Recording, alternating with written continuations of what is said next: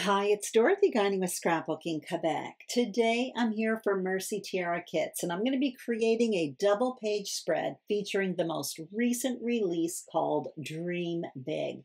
This kit includes material from a few different American Crafts collections including Poppy and Pear, Rainbow Avenue, and Cool Girl.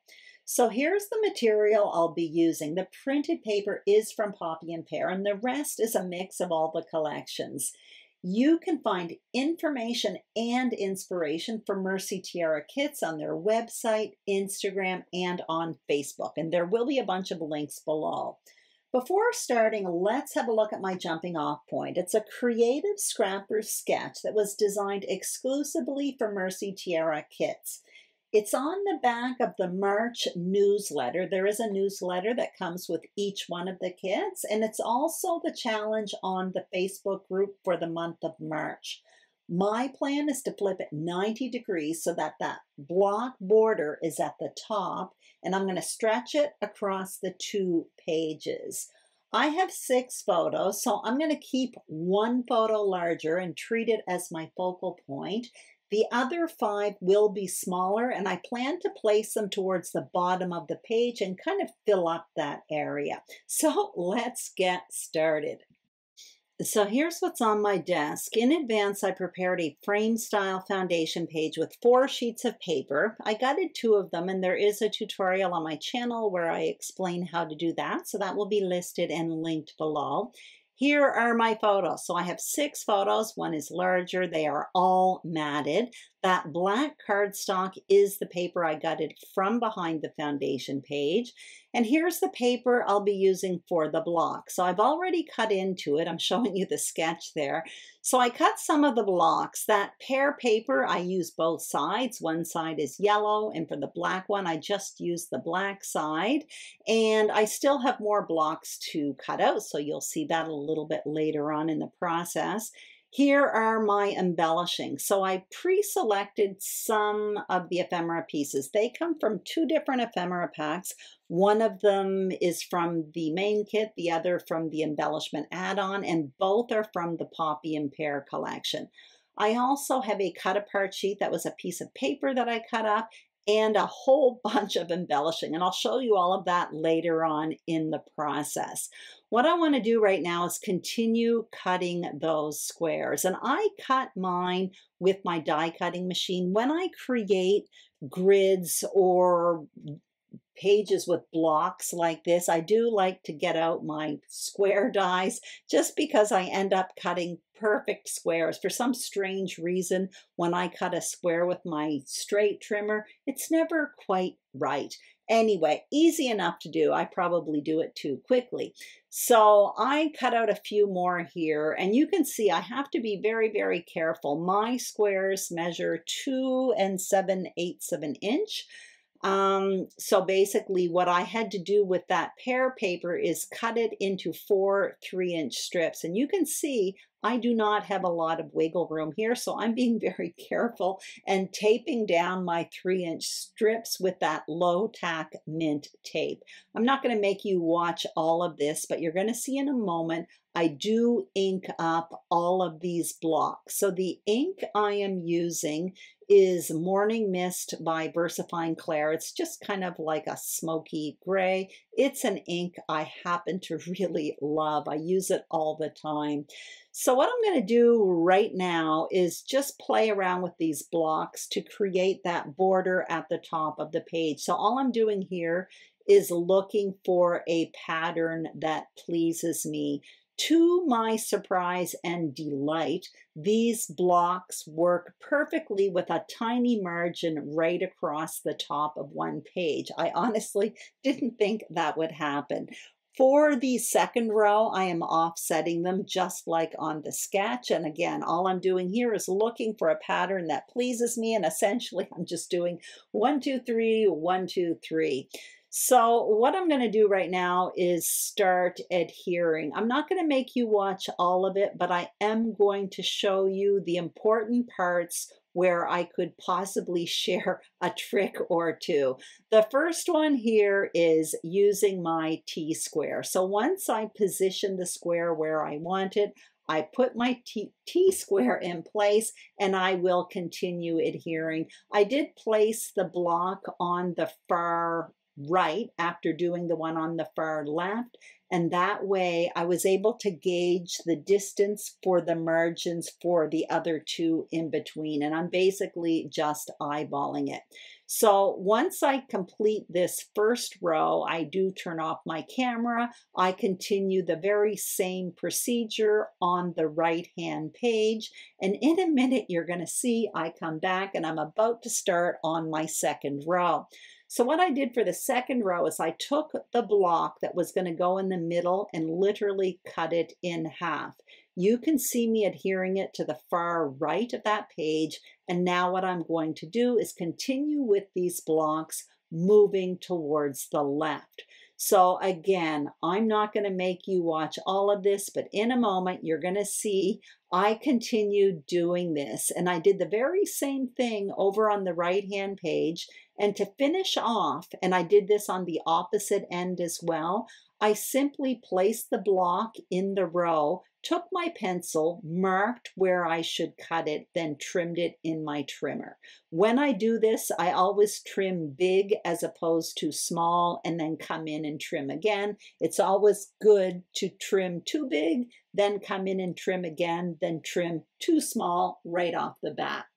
Okay, now I'm placing my photo. So my focal point photo is going to go over there in the top left, and I'm going to line up my photos in the bottom, basically pushed up towards the right. So there's going to be a white space on the far left of that bottom row. Now I'm adhering my photos and you may notice when I'm adhering them, when I flip them over, there's another colored paper underneath. And what that is, is scrap cardstock. For each one of these photos, I added scrap cardstock behind it just to raise up the photo a little bit. I'm doing that instead of foam adhesive. When I am finished with paper and I have scraps and bits and pieces left, I don't throw them out. I don't recycle them. If the paper has a certain thickness, think, I don't know, Pink Fresh Studio, Carta Bella, you know, scraps of Bazzill thick cardstock. I save it all. And what I do is I use it for purposes like this putting it behind photos just to bump them up a bit. So I did that with all my photos. Now I'm showing you that I have all of my embellishing around me. Now what I did off camera is I cut myself out a bunch of leaves. This is a leaf die. I'm going to show it to you in a minute from Stampin' Up. I use it all the time. I absolutely love it. I don't think it exists anymore, but basically I speak about this often in my videos. Having a few different leaf dies and flower dies in your stash go a long, long way I love using leaves as the base layers to embellishment clusters. I'm also showing you the ephemera pieces. So even the pieces that I pre-selected before, I went through them again and narrowed them down yet again. So basically I kept all of the white and gold floral and leaf bits anything that was yellow and green. I am showing you that I did my journaling on vellum and it's cut out in a square. I also have my title on wax paper, so it's beautiful. That comes from the foam phrase sheet, the Thickers collection. That's from the Rainbow Avenue collection. And I also have the word Jamaica and 2024. Those are in little puffy stickers, and that is from the Cool Girl collection. So I'm all ready to start embellishing. Oh, yes, and I'm showing you the puffy stickers as well. Super, super cute.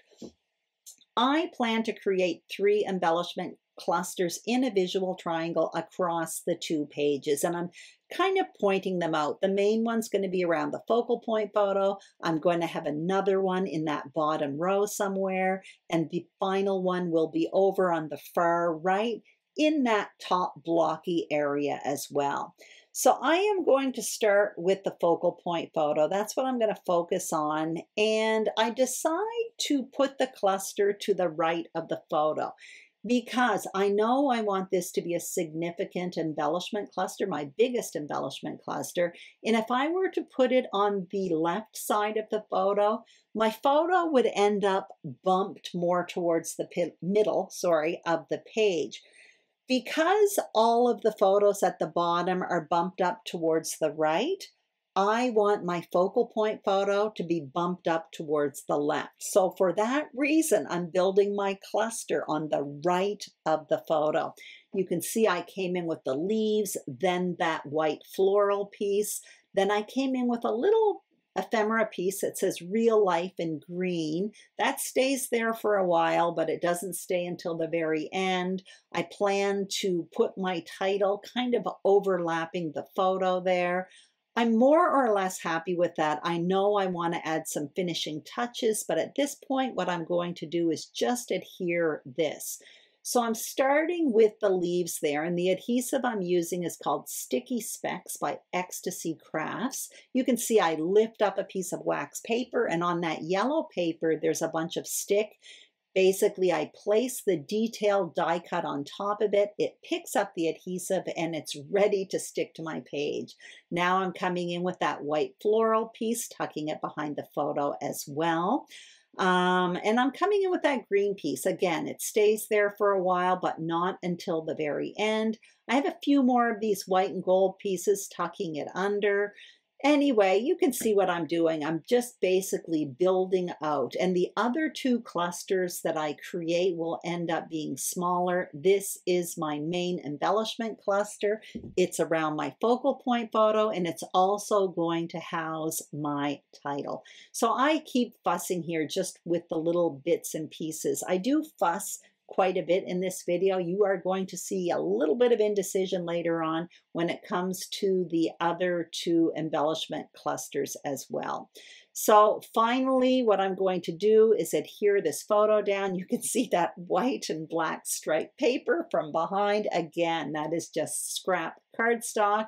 Now what I'm going to do is adhere the title. You can see it kind of overlaps the photo but goes on into that embellishment cluster. And off camera, I continued with that. I adhered Jamaica towards the bottom, and I actually ended up lifting the word beautiful, which wasn't easy. Those things really, really stick, those foam phrase stickers.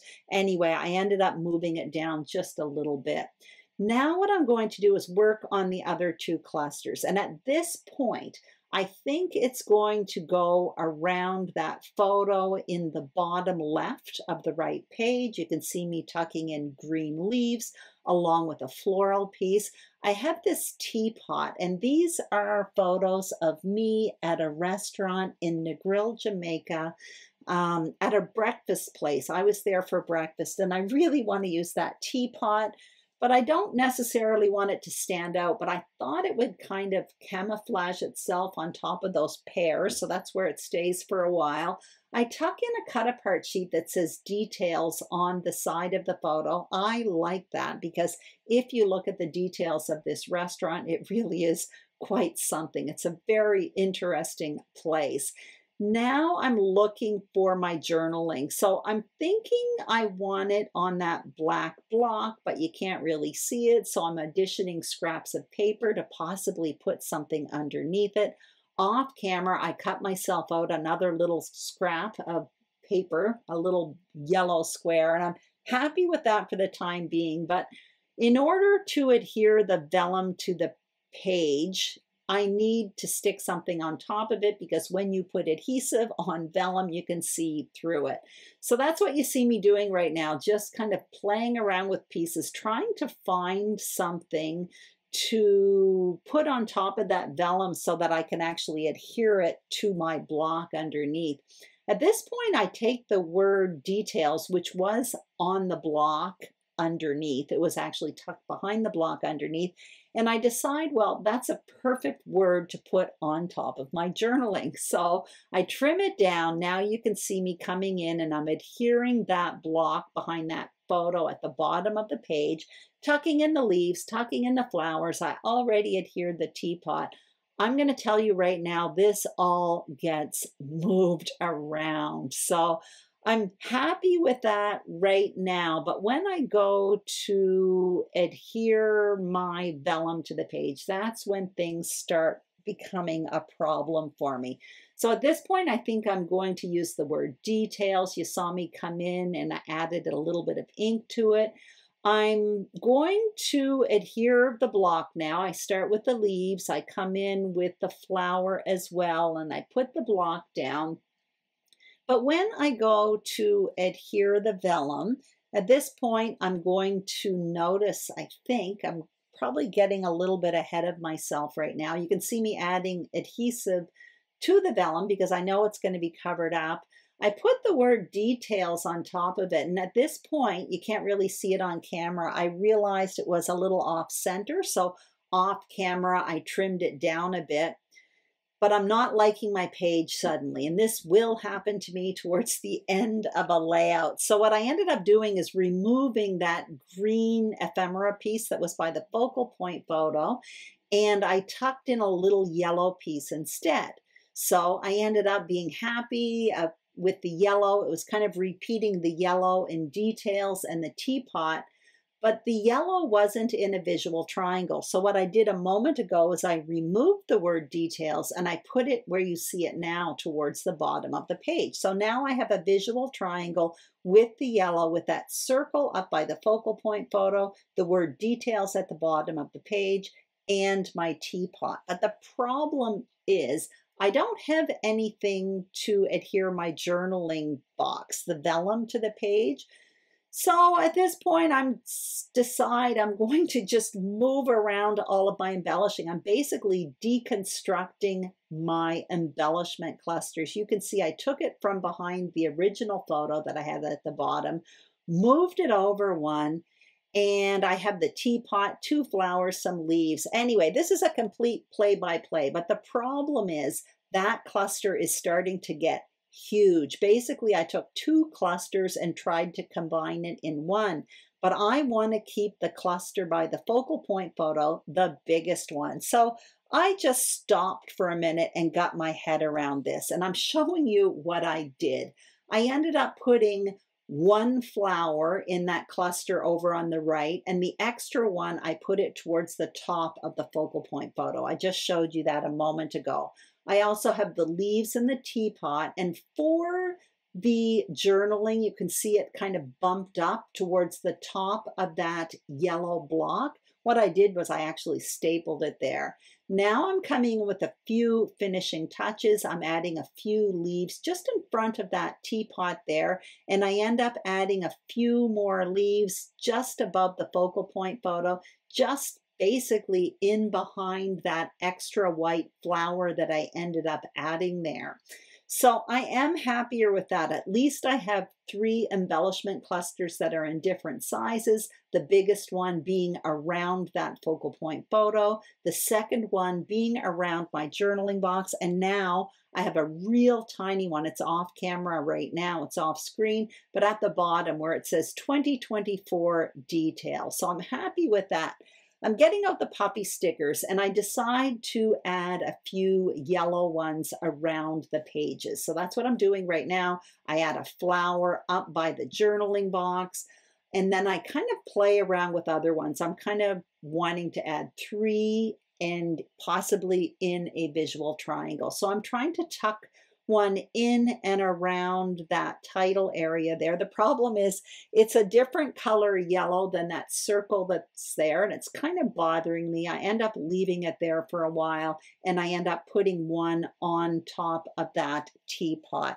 I'm more or less happy with this. What I end up doing is switching a little tiny bit when the camera stops here and that does happen to me at the very end. Often of a layout, especially when I have a tripod over my head. So here is the finished layout. What I did was I moved around the puppy sticker. So instead of having three placed in a visual triangle, now there are only two and they're placed just beside the journaling box. I did add two more staples just above the word details and on the yellow circle that is to the right of the focal point photo. Finally, I rounded the corners on the white cardstock. And before doing it, honestly, I felt this was a really bold move, but I am quite happy with the results. It adds contrast to all of those blocks on the page. Anyway, I hope you enjoyed this video. If you did, I'd greatly appreciate a thumbs up. If you haven't subscribed to my YouTube channel, Scrapbooking Quebec, I would be honored and thrilled if you did. And if you are a subscriber, thank you very, very much.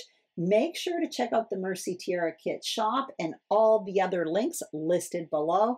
Take care, and I will see you soon on YouTube. Bye bye.